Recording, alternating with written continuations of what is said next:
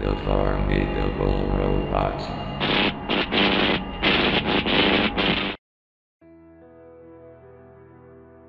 I don't know what I just saw. Even as I continue to find it, there hasn't been much on the internet since my horrible experience. Ever heard of Source Filmmaker? It's basically a software where you make films online. Eventually, it became popular on YouTube and everyone wants to get into the fun. But what happened really got me right in the gut. I decided to check out some YouTube TF2 videos for any new updates and found some. The average SFM videos, stuff as usual. I scrolled down until I saw a video I haven't watched, which is strange because I remember watching most of the surrounding videos. It was called SFM Spy's Antithesis.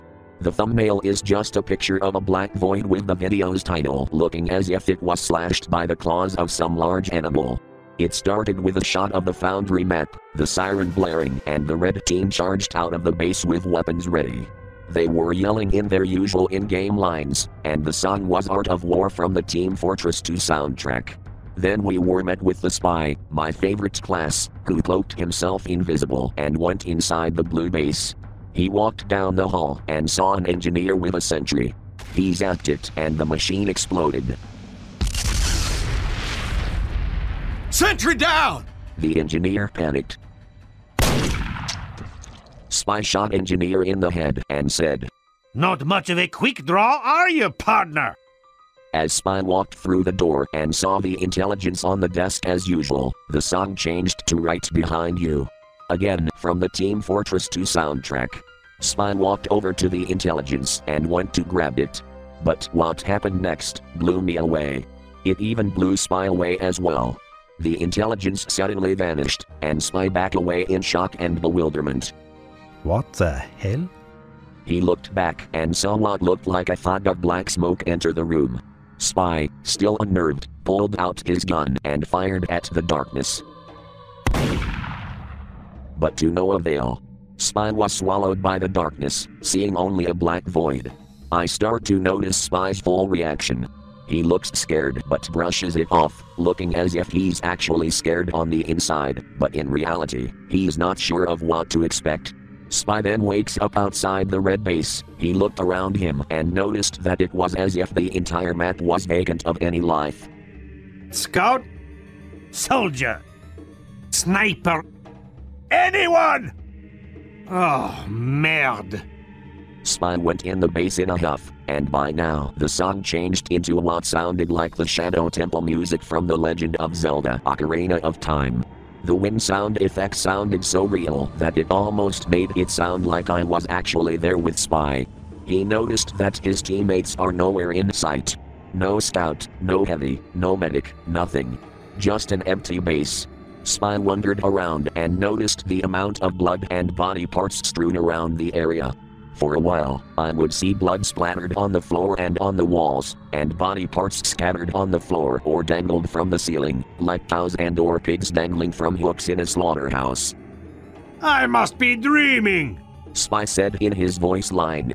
Then suddenly he saw a disgusting rotten green glow shining inside the spawn room, and went in to see a pale thin humanoid sitting in the middle of the floor, rocking back and forth. It took a moment for him to process what he was seeing. He reacted the way any mercenary would, of course. He ran into the room weapons ready, and for a moment he thought about attacking the morbid creature, but then the grotesque being turned, and that's when Spy saw that it wasn't really a man. It was a pale slithery thing, hairless and warped, its joints turned the wrong way and its body out of shape with itself. When it moved, it was like an insane marionette dancing on a stage. The spy was scared out of his mind. What the hell is that? Spy recognized its face. The pale thing squatted on its haunches, rocking back and forth like it was palsied. It almost seemed to be in pain. Spy's eyes widened and backed away. Then he heard Scout's voice. Spy! Spy looked around, and he heard the voice of Heavy. Spy! But Heavy and Scout were nowhere to be seen. Spy looked back at the hunched figure. Its head jerked when it talked, like a tic. How do you like the spy now? Spy's mouth went dry. It took several tries before he could speak. Oh, merde. Oh, did I get blood on your suit? What have you done? Come over here. I promise I will heal you. You imbecile! You've doomed us all!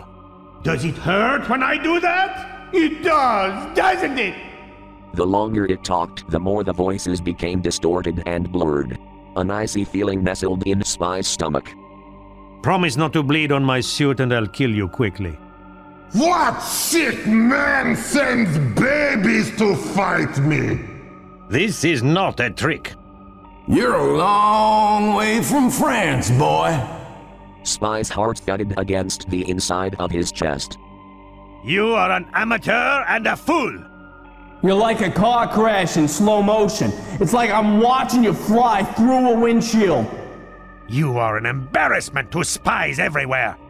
Finally, some recognition. Spy licked his dry lips, then pulls out his gun. This dead man belongs in hell! Let's take him home! The creature paused and smirked smugly. Hey, look, buddy. I'm an engineer. That means I solve problems. Not problems like what is beauty, because that would fall within the purview of your conundrums of philosophy. Spy blinked. Then I blinked along with him. Is it actually saying the voice lines from Meet the Engineer? What the hell? I solve practical problems. For instance, how am I gonna stop some big mean Mother Hubbard from tearing me a structurally superfluous new behind? The answer? Use a gun.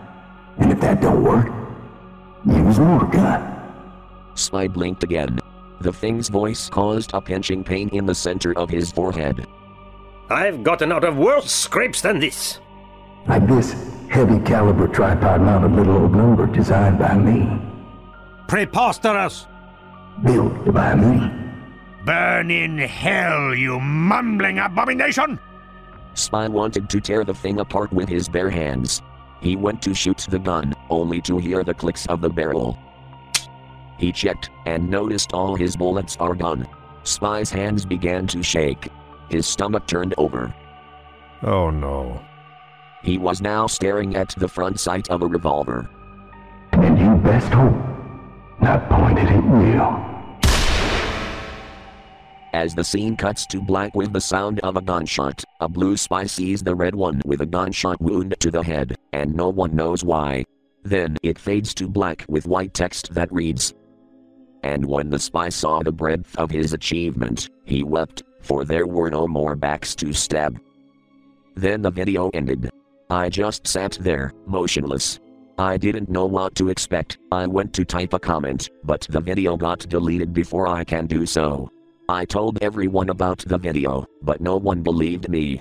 So I kept it to myself for so long, just so that if I came across it again, I might download it here for all of you to see. To this day, I still don't know what happened, or how nobody saw what I saw. But I think it's best not to bring things up in the comments. But I'll say one thing though, I talked to one of the distributors for the TF2 Freak Show Wiki, and they said that whatever this thing is, it might have been a freak spy someone rigged for a good video. But as I looked everywhere for the so called freak spy, nothing came up as I described it before. The video kind of reminded me a lot of the movie Hellraiser. Those fucking Cenobites gave me nightmares growing up. To this day, I kept searching with no luck. It somehow vanished from existence. No screenshots, no links, nothing. But I can still see the image of that damn ominous spy every time I close my eyes. So I ask you that if you find the video by whatever means, please download the video and tell everyone online about my horrible experience. And that this story is 100% true.